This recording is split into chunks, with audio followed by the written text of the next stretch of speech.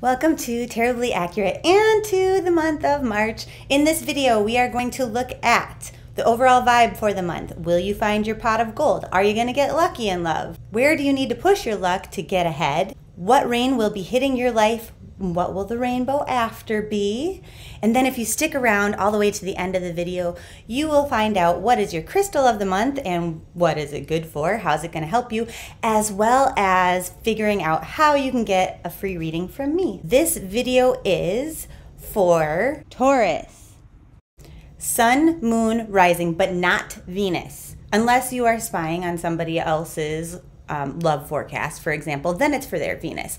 But this video right here is going to show you how to get the most out of these videos that I make or that anybody else makes for tarotscopes, horoscopes, whatever, or even ones that you would read online. And one more thing, there are links below to connect you to the tarotscopes that I've been making online for all zodiac signs. And now let's get started.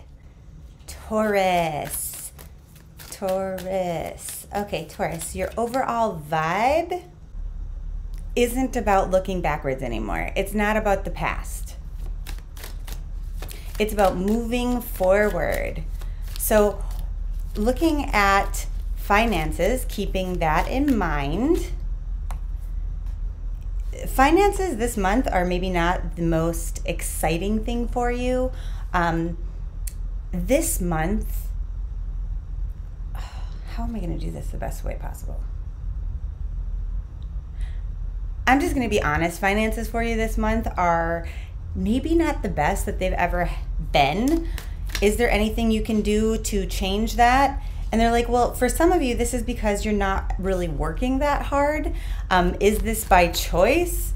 Um, for some of you, it's about pursuing a new opportunity, something that's exciting to you. Maybe finances just aren't exciting for you. You know, maybe what you're doing in the workplace just doesn't bring you joy anymore.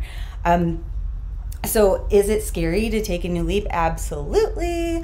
Whether that is good for all or some Tauruses, I mean, obviously that would be better answered in a personal reading. And like I said, in the description box below, there is information on how you can get one or get a free one. But regardless, um, you know, you've got to, if your situation isn't something that you're super excited about, start thinking about what makes you excited or how can I get excited to go to work at a job that I need to keep, you know, yada yada.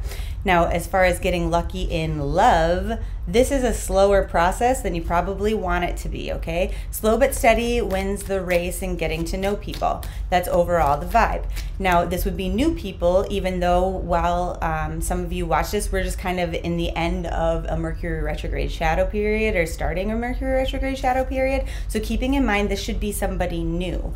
Now, we're gonna look at singles specifically. What does March look like? Singles, if you're not manifesting anything, if you haven't given any thought as to what or who you would like in a relationship, what kind of a partner you desire, well, then good luck finding it, right?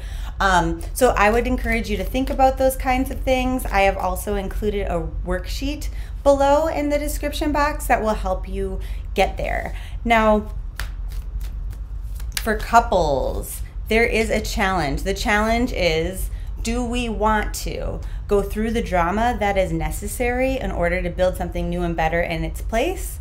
Or do we let this go? Or do we just keep it as it is? But then that drama is going to keep resurfacing, okay? So, what they say is you have to feel 100% confident that this is the relationship you want to be in and that it's worth keeping. If right now, as you're watching this, um, your perspective has not changed, if it's been the same for a long time, um, that you want to stay together, then what they say is like, you know, keep in mind that these things take time, that they, they don't happen overnight. Okay. Um, taking apart old habits, old ways of doing things, and instituting new ones is a lot of hard work. But if you've decided it's worth it and you're confident this is the person for you, then it is going to be worth it. So the first step in that is um, kind of trying to be careful in the way that you're communicating, making sure that everything comes across supportive and loving because you've got to tame the beast that is your partner. Um, with the way that you put the information out there. You know, the old adage is it's not what you say, but how you say it. Now, if you've decided it is time to move on, then they say you have to stick to that. No wavering, no back and forth. You must be fully decided that that is the case. And then also use that worksheet that I um, had put down below um, to manifest what it is because you would be in that single vibe, okay? Now, if you're in an on again, off again relationship, if it's complicated, if it's maybe not Facebook official, what's up for you, they're like, you need to pay attention to where your partner might be offering you love and you're just not noticing it, or to opportunities that are coming to you that you're just not seeing or noticing. Now, sometimes this can come across as like um, we're not approachable. Other people are into us, but they don't feel ready to try to show us their interest because we're a little standoffish. You know, maybe our body language is like this, or maybe we're always looking at our phone when we're um, waiting for our coffee at the coffee shop or something like that. And so we don't seem very approachable. And so making sure that all of that is very open um, and that you want to hear from people is going to be helpful. What they're saying is if you focus on what is right here in front of you, those opportunities, then there is love to be had and um, for you to take advantage of. So, where in your life do we need to push our luck in order to get ahead? So, um, I just dropped like a whole stack of things on the floor. The first thing is we need to think about the big picture. At the end of the day, what is it we're focused on? What is it that we want? And not thinking about the barriers or the steps to getting there. And oftentimes this is the case. If I know what it is I want at the end of the day, I don't need to control how that flows to me, how that comes to me. And this is where a lot of people fuck the law of attraction up, right? Is they go, okay, well, I want to be famous, so I need to have you know, like so much Instagram engagement, or I need to find a new social media platform, and I need to make this thing go viral. And it's like the universe can kind of just help you achieve that fame if that's what it is that you want. It doesn't matter what it is you want, whatever the end goal is, but don't try to control how it comes to you because you're just creating a barrier to allowing the law of attraction to work for you, okay? They're like basically focus on what you want and don't do that much about it. Allow it to flow to us. But you have to be super specific. A lot of times people are like, I want more money, but they're not specific in how much money they want or what it is that they desire. And so then um, the next day, they don't realize that they manifested more money in their life when they find a penny on the ground and the universe is like, yeah, hooked you up. Okay. And we don't appreciate it then. So they're like, first step is decide decide what it is that you want. And now, for some of the signs, I'm sure that this is going to be super specific, but for you, they're kind of like, look, anything that you want, you can have it, but let's figure that out, okay? All right, so now if you are actually going to use this information, go ahead and leave a comment saying, I am getting what I want. And the reason why you should do that is because then we affirm what we want to the universe, be super specific, because we make our ideas then um, we take them from conceptual to concrete by putting them out into the universe in written form.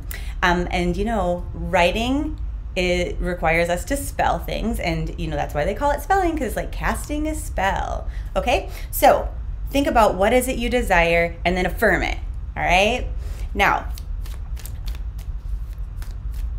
what rain is going to be hitting your life this month? So, just generally, it's not your luckiest month. Honestly, you might not be that lucky, all right? Unfortunately, sometimes we have lucky months, sometimes we don't. For you, Taurus, that's just kind of the case.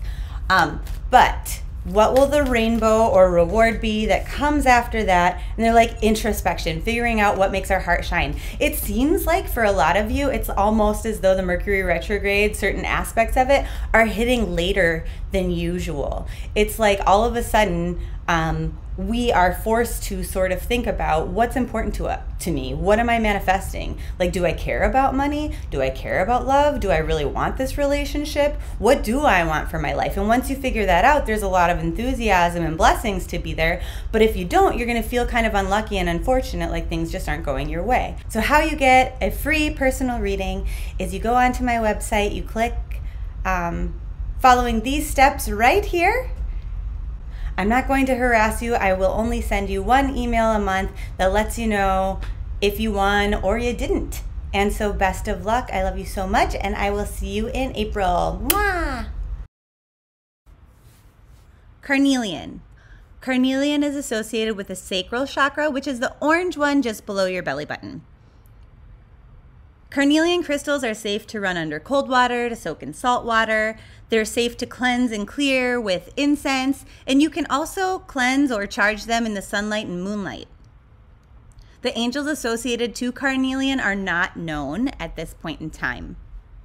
Carnelian is used for courage, self confidence, standing up for yourself, and it helps to eliminate and or reduce fear, rage, envy, jealousy, as well as resentment. Carnelian is great for alleviating depression and it awakens your inner joy.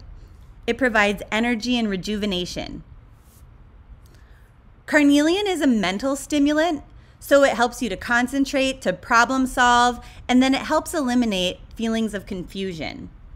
Carnelian encourages feelings of trust and love, as well as communication and it helps your spiritual body align.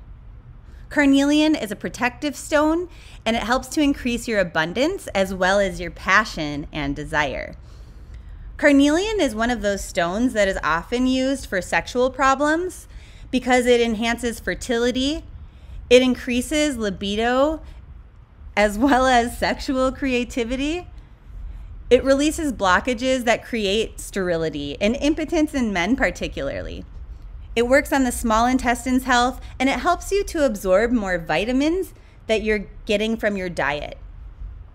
Carnelian helps your blood to stay healthy and it increases your platelet formation.